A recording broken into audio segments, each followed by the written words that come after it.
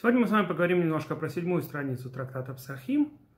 И тема, которую я хотел обсудить, это почему некоторые благословения мы говорим «аль», а некоторые «ле». Да, некоторые брохи мы говорим что-то делать, «ла асот», а некоторые «аль», как бы в более средней форме, если можно так выразиться. А, то есть, как будто Броха не говорит, что мы обязаны именно это сделать, а просто делание этого, насчет делания этого. Так вот, здесь вообще Гемора очень непростая, есть разные интерпретации, но я попробую суммировать один из подходов, что есть благословение, которое человек обязан, э, на митсву, который человек обязан сделать сам. И тогда идеальный нусах такой брохи – это ле, да, что указывает, что именно человек должен это делать.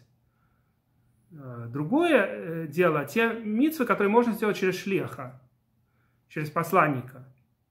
Вот в этих митсвах как правило, эм, более подходит нусах аль. Если э, можно это, это самому не делать, получается, что как бы ле указывал бы, что ты именно должен сделать эту митсву, а на самом деле ты же не обязан. Может другой за тебя это сделать. И есть еще некоторые исключения, которые связаны с митсвами, которые обычно делаются а, до брохи. То есть обычно митсвы делаются после брохи как здесь тоже Талмуд обсуждает, о верле сиатан должна быть броха. Броха как бы должна перескакивать перед митцвой, можно так это привести, овер, да, можно сказать, проскочит броха, и сразу же за ней идет митцва. Они это сравнивают с человеком, который нагоняет другого. Я когда-то уже обсуждал эту тему. То есть идея, что в идеале митцва и броха идут как почти что вместе. Но вот броха немножко раньше митцвы, она ее перегоняет как бы. И сразу же после брохи идет митцва, нельзя прерываться. Мы знаем, что общий принцип, если человек прервался после брохи, то обычно его броха будет тогда впустую, и нужно заново делать благословение. Да? Допустим, человек, скажем, э, если броха на еду, например, он сделал броху, а потом стал разговаривать на посторонние темы, ему нужно заново теперь броху делать. Он говорит, Барухшем код мухутоли ламваэд, да, это делают всегда, когда сказал броха леватала, пустое благословение, э, благословение в суе, то нужно сначала сказать, чуть-чуть компенсировать это, не полностью, конечно, компенсирует, но хоть как-то компенсировать тем, что скажешь благословение имя, великое имя царства во веки веков. Барухшем код мухутоли ламваэт. То же, что мы говорим после шма. Вот эта фраза установили мудрецы говорить, и сказал случайно броху леватава. Или, или лишнее благословение. Броха шинецриха. Так вот, а, говорят, э, если прервались между брохой и акцией, то нужно обычно сказать Барух Шемквод, а потом, соответственно, снова сделать броху. И уже не прерываться. Это относится и к брохам на акции типа еды, например, удовольствий каких-то, и брохи, которые перед какой-то митсвой. Но есть, правда, исключения. Бывает, что человек разговаривал не на посторонние темы, а тема, которая связана была с едой. Это все мы уже немножко обсуждали в трактате Брахот, я сейчас повторяться не буду. Во всяком случае, броха должна быть близко к митсве, но перед митсвой. А если человек решил сделать броху уже после того, как митсву выполнил, то это будет тоже броха леватала. Потому что митсва-то уже выполнена, митсву уже человек выполняет и без брохи. Да, если, скажем, нужно какую-то митцву сделать, эм, э, предположим, после того, как уже а, исполнили э, митцву, э, которую делают просто один раз, после того, как ее уже сделали, то невозможно теперь броху сделать.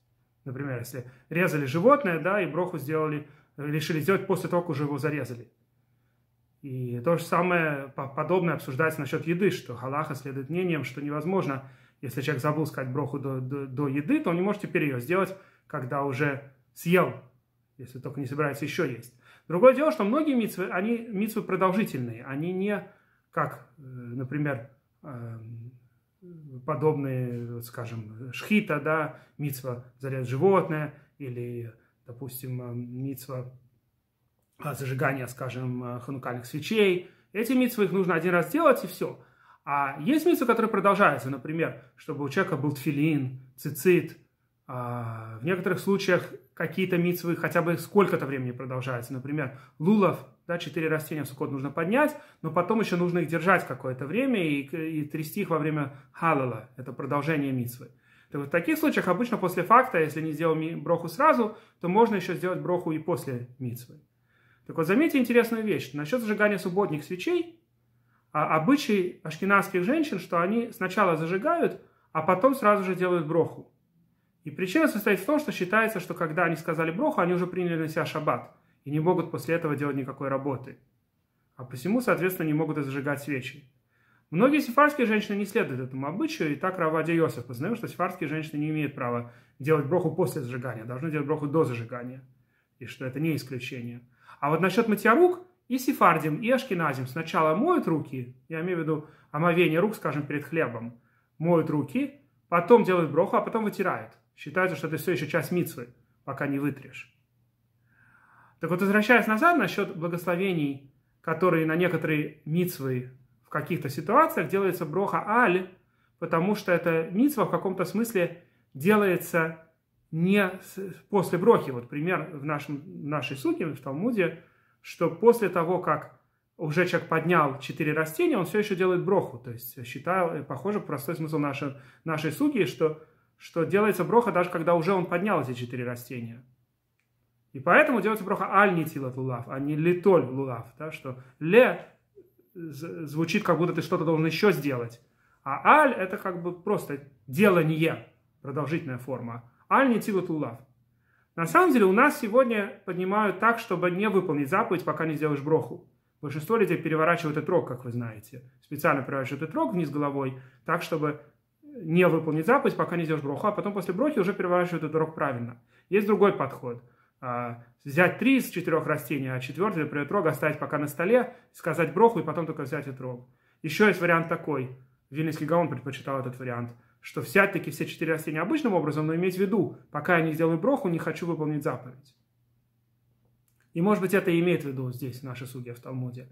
Во всяком случае, а, броха аль не тилотлулов нам понятно, почему именно аль.